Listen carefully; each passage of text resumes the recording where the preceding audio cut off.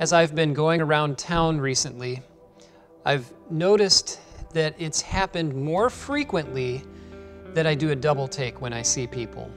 It's because of the masks.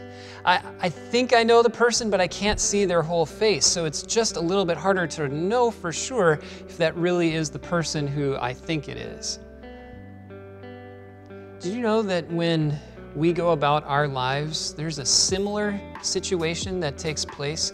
Because when people look at us, they might say, I think I know that person, but there's something that looks different about them, or, or I'm not sure because they might be someone else. And the person that they might be getting confused with, it's Jesus. Did, did you know that when God looks at you, he sees Jesus? And by God's grace, when people look at us, they would see that we're forgiven by Jesus. Galatians 3:27 says that all of you who were baptized into Christ have clothed yourselves with Christ. When we walk by, it's as if someone says, Is that Jesus walking by? Boy, that sounds like a tall order to fill, almost too good to be true. It's absolutely not too good to be true.